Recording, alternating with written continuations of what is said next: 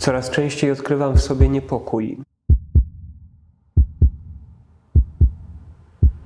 I to jest taki, taki, taki dobry moment odkryć w sobie niepokój.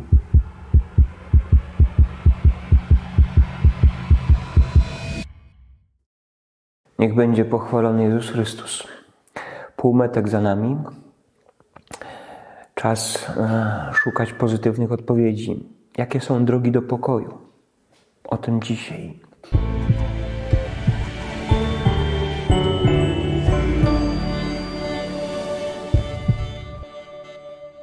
A na sam początek liturgia słowa z dzisiejszego dnia. Niech się rozweselą pustynia i spieczona ziemia. Niech się raduje step i niech rozkwitnie. Niech wyda kwiaty jak lilie polne. Niech się rozraduje. Oni zobaczą chwałę Pana, wspaniałość naszego Boga. Pokrzepcie ręce osłabłe. Wzmocnijcie kolana omdlałe. Powiedzcie małodusznym odwagi, nie bójcie się. Oto wasz Bóg, oto pomsta, przychodzi Boża odpłata. On sam przychodzi, by was zbawić. Wtedy przejrzą oczy niewidomych, uszy głuchych się otworzą. Wtedy chromy wyskoczy jak jeleń, język niemych wesoło krzyknie.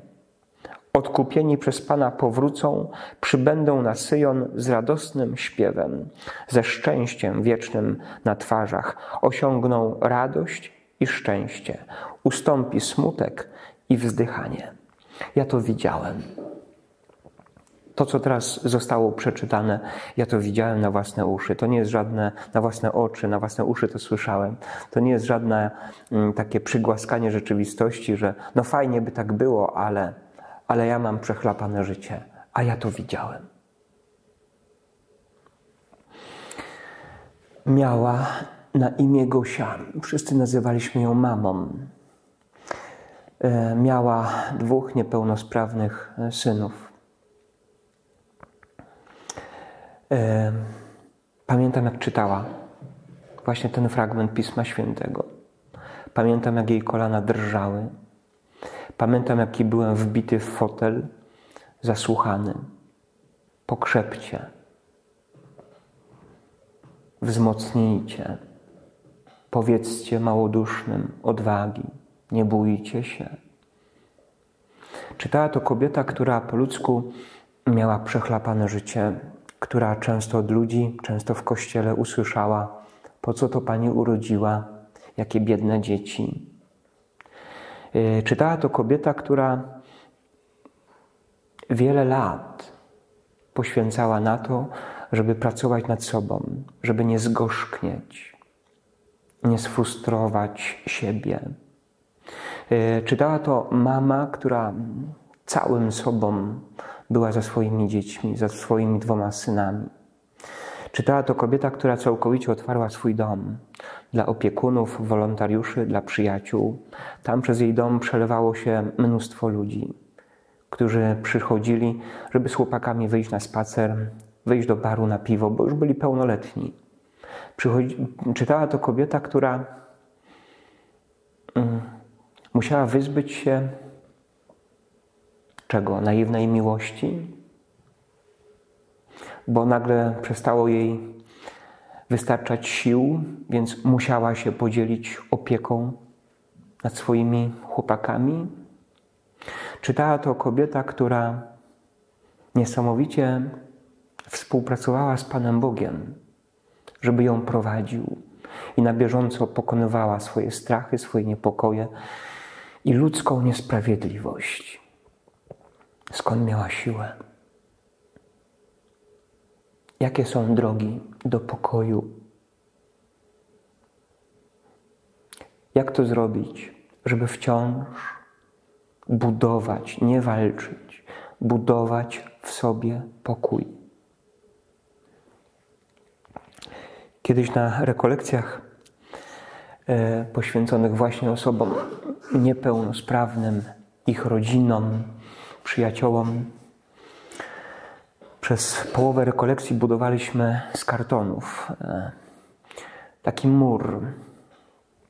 To leżało na ziemi, każdy mógł potem przejść, z takich chamskich kartonów przywleczonych ze sklepu.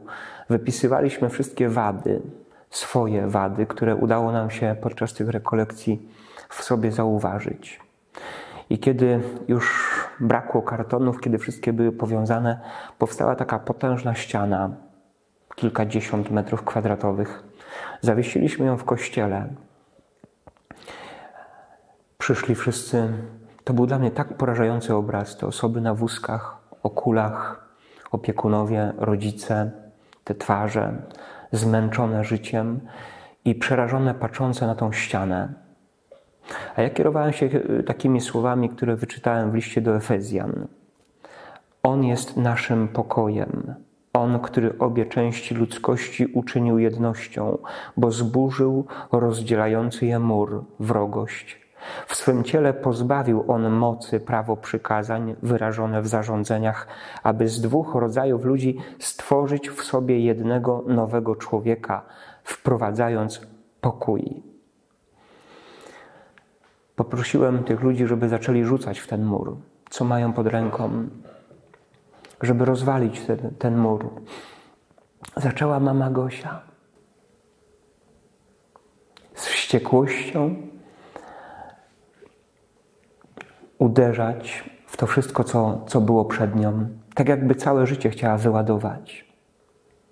To było coś porażającego, przerażającego, a jednocześnie pięknego, że wreszcie serce pękło, że wreszcie się rozlało, że to, co przez tyle lat kumulowałaś w sobie, wreszcie, wreszcie możesz wylać, wykrzyczeć, wyryczeć. Porażający i jednocześnie piękny obraz. I nocne Polaków rozmowy.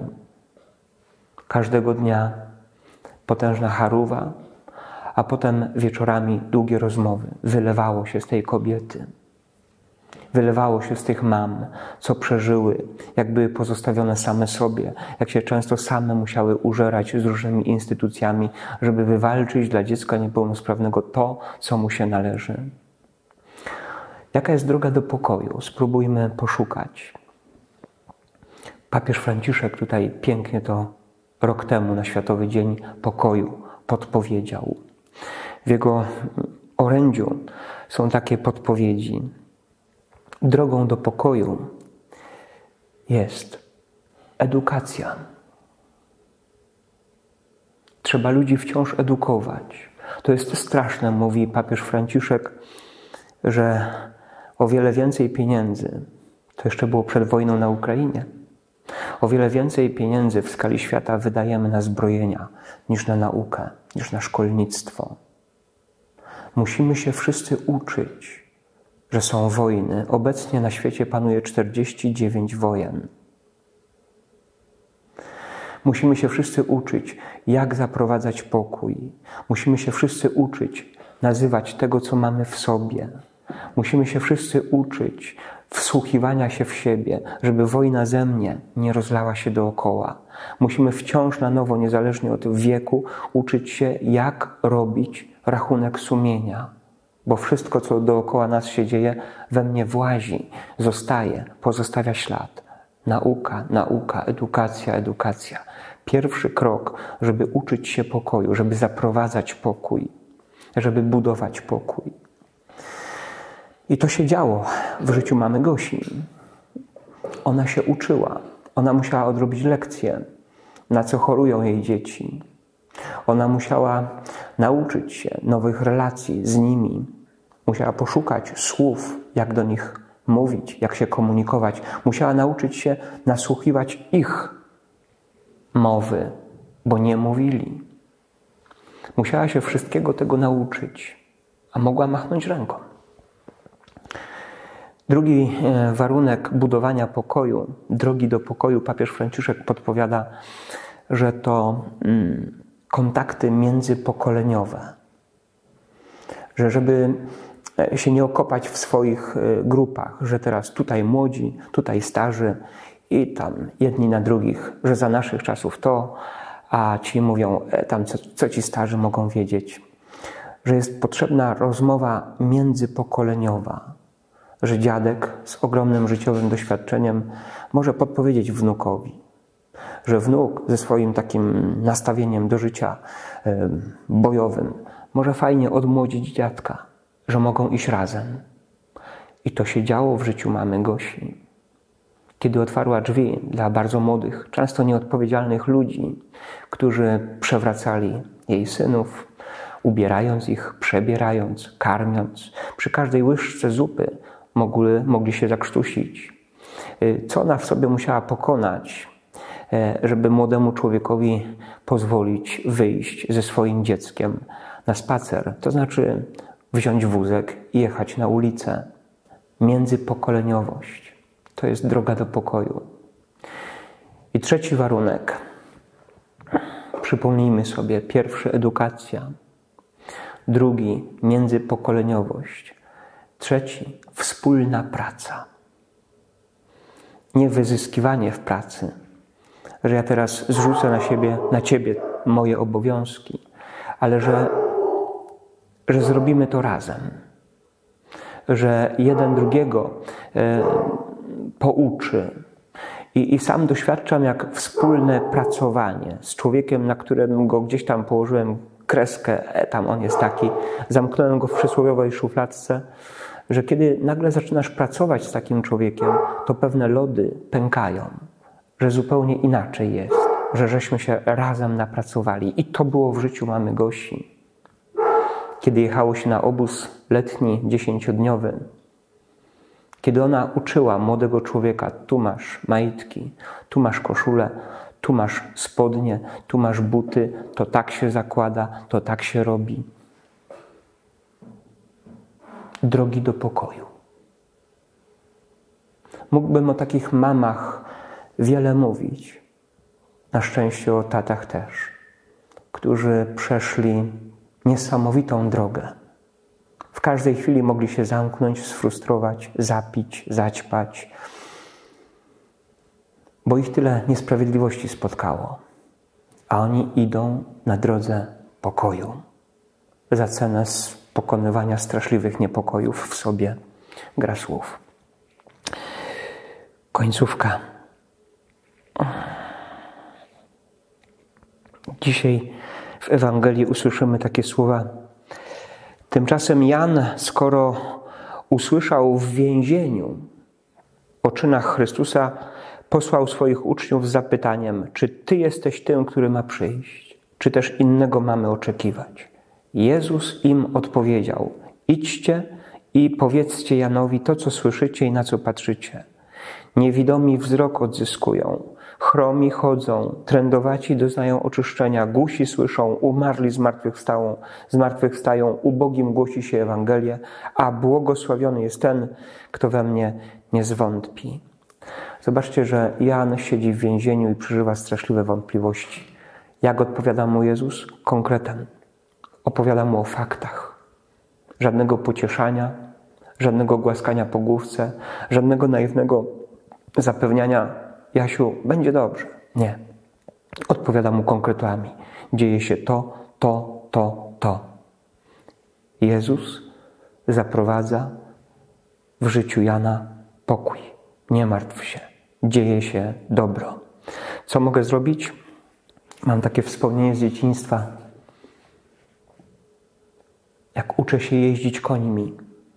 Wóz, dwa konie, mały chłopczyk, słabe rączki i masz sterować potężnym, pięknym zwierzęciem i ręce taty nade mną. Ale o tym w następnym odcinku.